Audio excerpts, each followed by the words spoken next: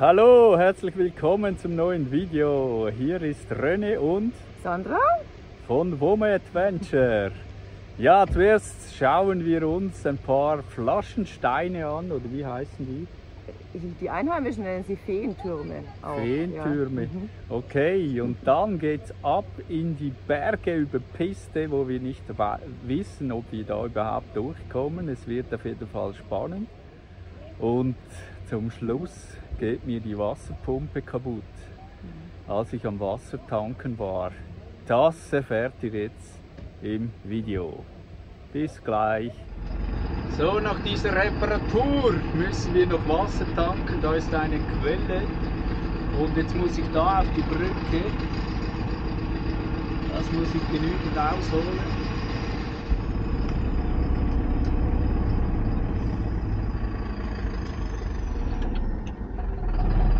Nein, nicht das Fenster. Was denn? Diese Tür. Ja, geht er nicht, der unten ist im Weg. Na, sorry. Es geht Dann zurück. lass sie da unten. Ich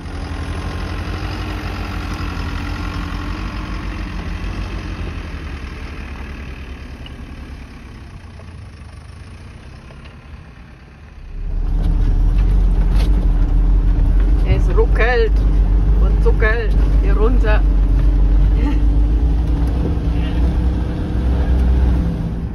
So, wir sind jetzt schon die zweite Nacht hier in der Gegend, haben da unten übernachtet und jetzt fahren wir dem Flussbett entlang. Ich bin da gestern die Hälfte abgelaufen und vielleicht kommen wir morgen sogar wieder raus. Oh oh. Okay. Er fliegt da gerade mit der Drohne. Ich dachte, er fliegt in den Baum, aber äh, die erkennt das nicht schlecht. Ja, schön, schön. Wir fahren jetzt da einfach den Fluss entlang nach hinten, so weit wie es geht. Wenn wir Glück haben, kommen wir raus.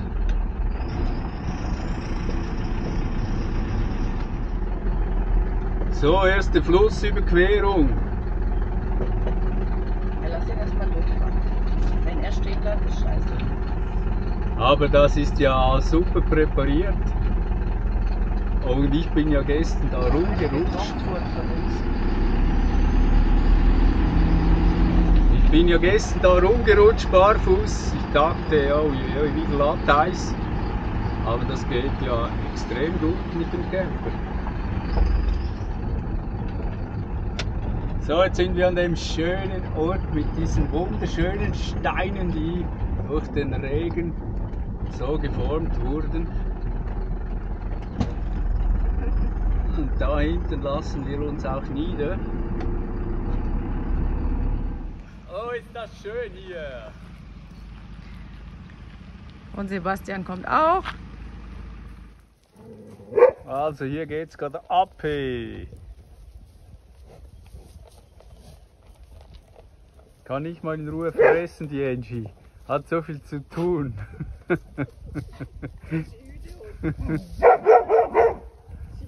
sie ist an der Leine, weil sie läufig ist und da hat sie einen Rüden, aber ich mache sie jetzt glaube ab, damit sie sich frei bewegen kann.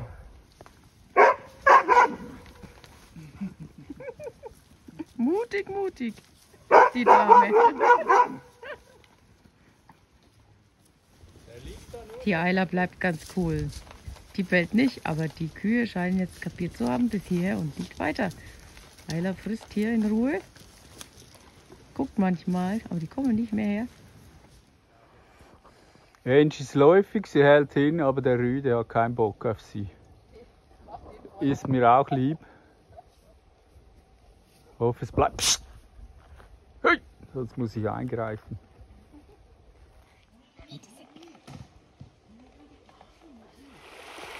Der René klettert heute Morgen da hinauf zu diesen wunderbaren Felsen. Wahrscheinlich hat er sich jetzt versteckt. Ja, da klettert der Schweizer die Berge hoch. Das ist wahrscheinlich im Blut liegt das. Da muss er immer die Berge rauf und jeden Hü- Hügel erklimmen. Aber in der Kulisse ist das natürlich auch traumhaft.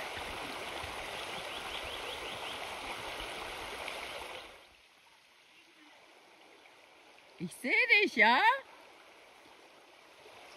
Machst du da Frühsport?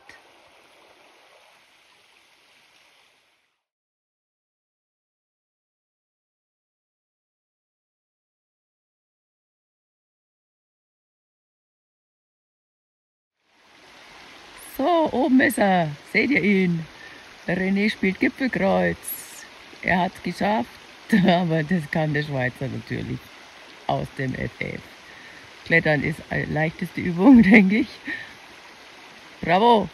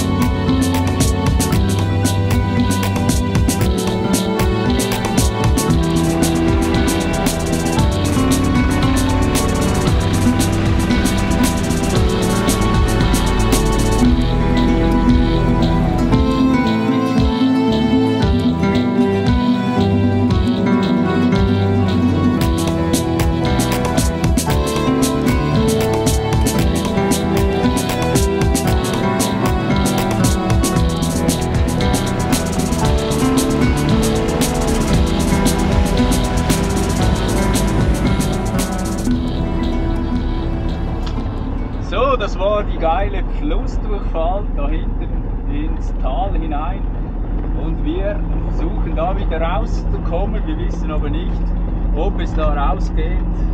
Wir sind schon etwa 3-4 Kilometer auf dieser Piste und bis jetzt drei Flussdurchfahrten.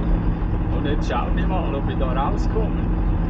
Die Lady fährt gerade, ich bin der Co-Pilot, weil ich die Drohne geflogen habe.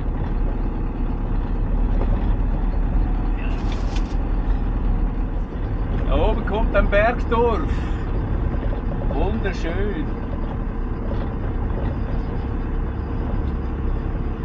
Aber da kann man nicht durch, da oben durch, wie es aussieht. Die Häuser sind verfallen, oder? Die schauen ziemlich äh, Ja, das löcherig aus. Ja, stimmt. Da wohnt, glaub fast keiner mehr. Die sind alle weg.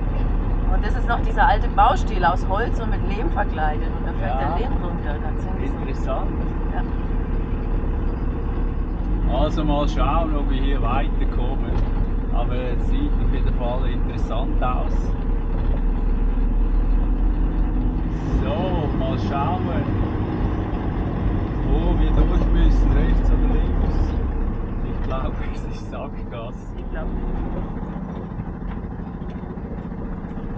So, da gab es zwei, eine Verzweigung. Eine führte hoch in das ausgestorbene Dorf und da vermutlich über den Berg oder dann weiter am Fluss entlang, sicher mindestens 20 Kilometer.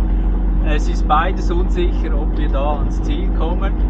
Und wir haben jetzt entschlossen, dass wir die größeren Heraus- Herausforderungen versuchen durchzukommen, obwohl hier nicht allzu viele Spuren sind. Und jetzt fahren wir halt hier entlang. Ja, schön ist es trotzdem.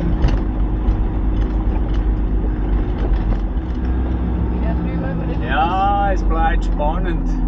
Ob man da durchkommt, werden wir sehen. Das. Ja, die sind da durch, aber es ist ziemlich äh, verwachsen. Wieder links rein, reinlenken dann. Ne? So, da hat es einen Erdhaufen, den ich umfahren musste. Gut.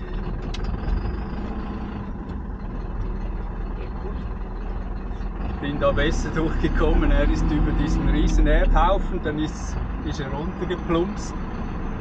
Da war ich schon mal vorgewarnt, habe die bessere Spur gewählt. Aber das ist echt Abenteuer hier, weil hier fährt keine Sau mehr durch, das war einmal. Das sieht man auch, aber äh, der Sebastian will nicht aufgeben. Also dann fahren wir einfach. Also, kein Wunder, fährt die fast keine mehr durch, weil Steinpiste, oder? ziemlich steinig. Aber für das hat man ja so ein Teil.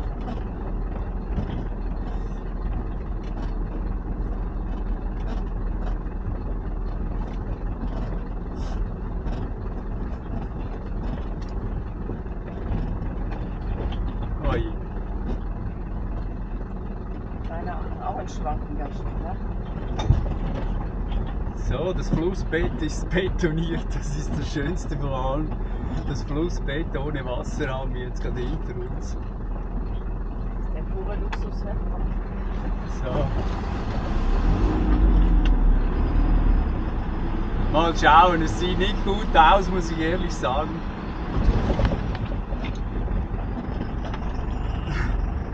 Vielleicht schlagen wir uns durch. Es bleibt spannend, ehrlich gesagt glaube ich nicht daran, so wie das da verwachsen ist, sieht es nicht nach viel befahren aus.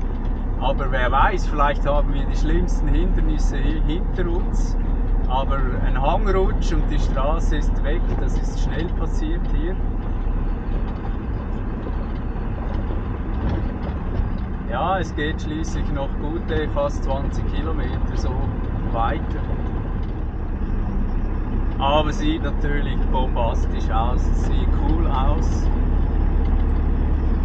Äh, wie ich die Strecke gefunden habe, wie immer Zufall oder einfach Google Earth, was man so erkennt. Viele kennt man nicht, aber dass da eine Piste ist. Aber ob die befahrbar ist, ob irgendwo ein Hangrutsch ist oder ein Flussbett zu wild war, das sehen wir nicht. Und jetzt ist fertig. hier ist ein Stein. Also hier ist vorbei. Das war's. So, das ist das Ende. Piste ist fertig. Zu viele Steine, die müssten wir jetzt wegräumen. Sonst geht es nicht weiter. Aber ich glaube, wir drehen um. Also hier geht's nicht weiter und ich zeige euch jetzt auch wieso. Tja, diese paar Steine halt. Hangrutsch.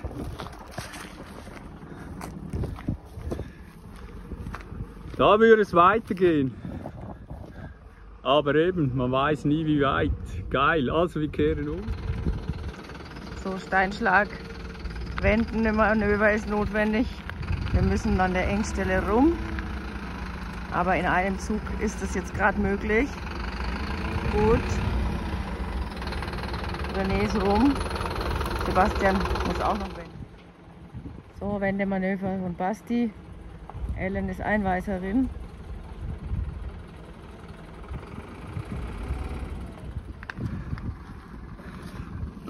Und da mitten im Hang. So ist das.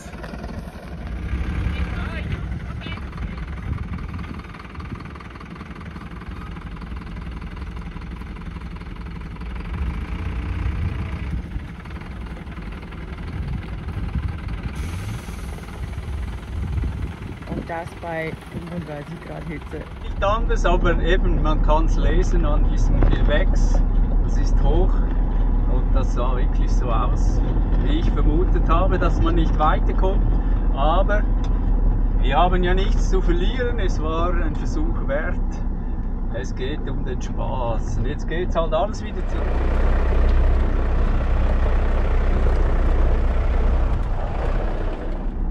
So, dafür gibt es wieder ein kleines Flussbetterlebnis. Jetzt ist wenigstens wieder mal ein durchgefahren hier.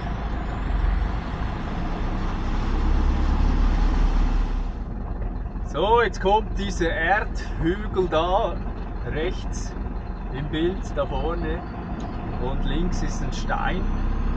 Also man muss da durch, aber ich fahre jetzt da unten ins Flussbett.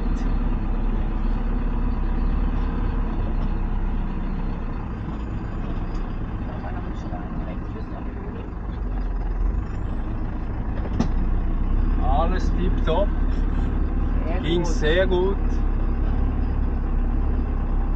Guter Fahrer. Da merkt man halt die Erfahrung, ne? Ja, ich hatte noch den 4x4 drin, Untersetzung. Jetzt kommt es.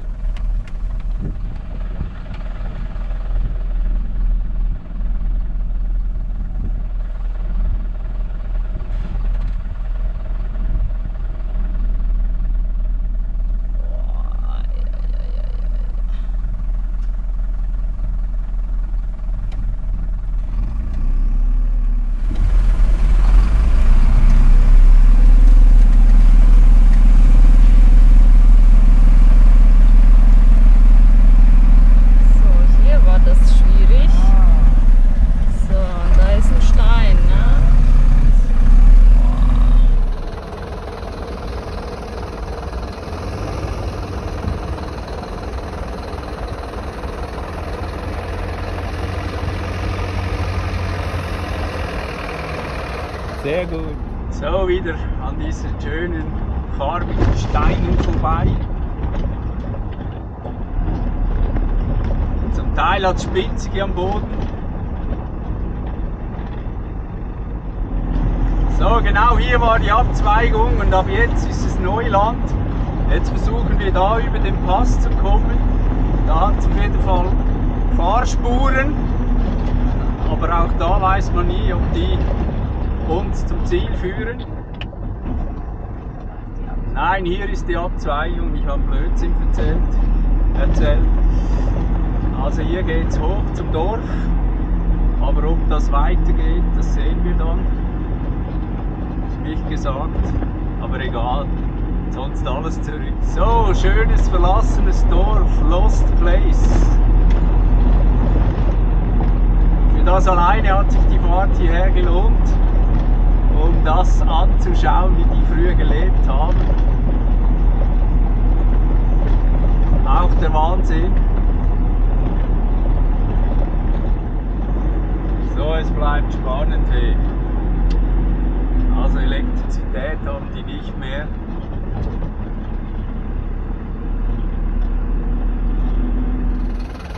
Also hier die Häuser, alles verfallen. Die Zeit frisst.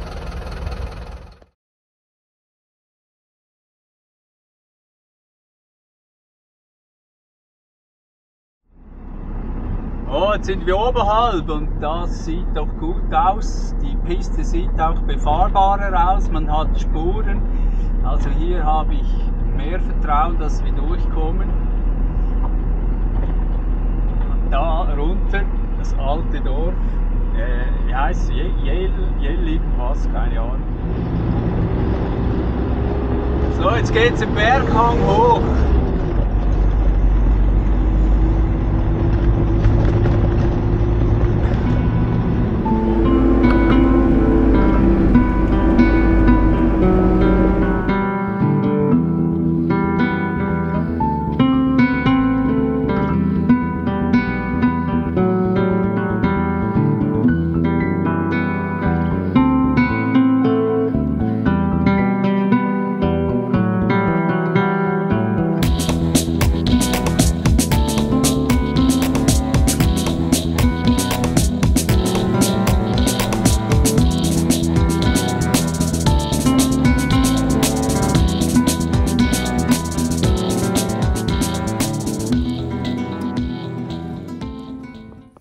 Haben kurz Pause gemacht da oben. Wir sind aber noch nicht ganz oben. Und schauen runter ins Tal, von wo wir kommen.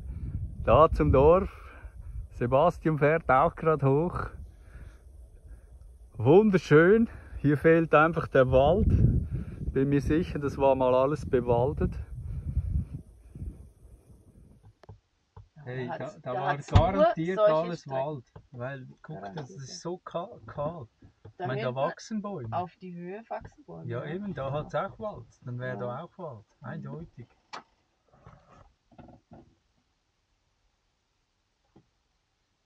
Dorf da hinten, kommen wir. So, komm, steig ein. Sonst lasse ich dich hier liegen.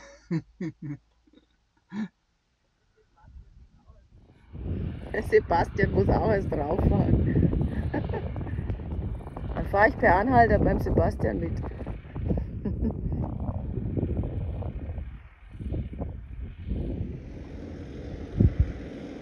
Wir haben die Pole Position gewechselt.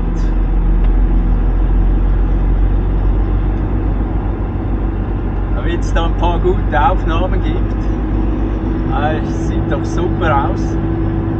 Wir haben die höchste Stelle erreicht. Da vorne. Sind wir in den Hochalpen. Wie hoch sind wir etwa? Ich schätze etwa 1600 Meter. Ah, guckt euch das an, hey, ist das schön.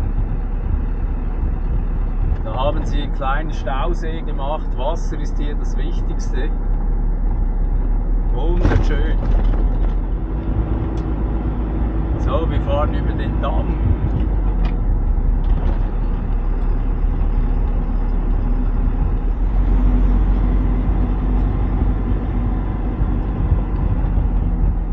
So, das Abenteuer Berge scheint fast zu Ende zu sein, weil hier kommt, glaube ich, eine Teerstraße. Jawohl.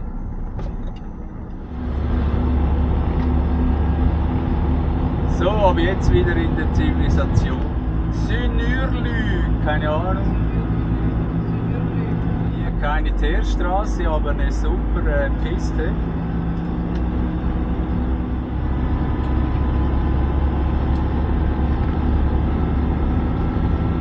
Sand, aber ist keine. Vielleicht sind es wieder so kleine Muscheln, haben wir schon mal gesehen. Wer weiß. Also es ist doch eine Teerstraße, aber voll mit äh, Kieselsteinen. Schöne Hochebene.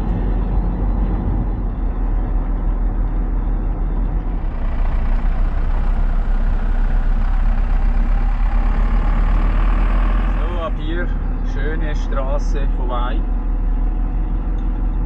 Egal. Wir nehmen alles, was befahrbar ist.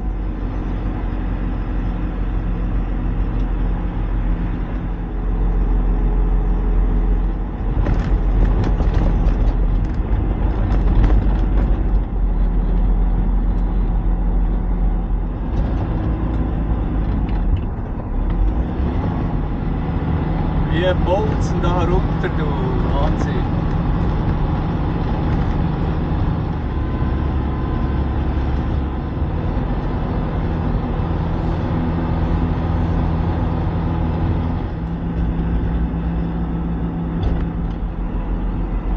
Der Sebastian ist schon da vorne.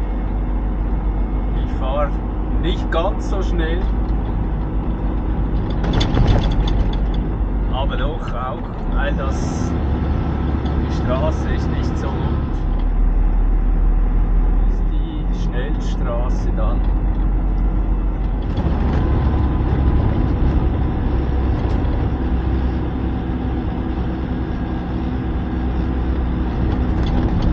In der Zivilisation, normale Straße. Wunderbar, wir haben es also geschafft. Scheiße, Wasserpumpe kaputt. So eine Soße war drin. Ich habe jetzt alles abgespült. Irgendwie kam da Wasser rein. Dann hat eine Kohle drückte nicht mehr hin, die blieb hängen. Äh, ich denke, ich werde sie wieder zum Laufen bringen, aber ja, optimal ist das nicht. Irgendwie kommt da Wasser rein, das ist schlecht. So, Pumpe zerlegt, gereinigt, getrocknet, gefettet, jetzt kurz angeschlossen. Sie dreht wieder, aber ich habe es nur kurz, weil es kein Wasser drin hat und jetzt kann ich sie wieder einbauen. Eine Kohle ist zu 50% abgenützt, die blieb hängen, das ist das Problem gewesen. Kohlen muss ich organisieren, das sind 5 mm auf 8 mm. So, nachdem die Wasserpumpe wieder läuft, äh, sind wir jetzt essen gegangen und und äh, gleich da drüben ist ein Tierarzt und der passt auf unsere Hunde auf und da haben wir uns auch eingedeckt mit Wurmmittel und äh, Spot-on und das ist extrem günstig hier.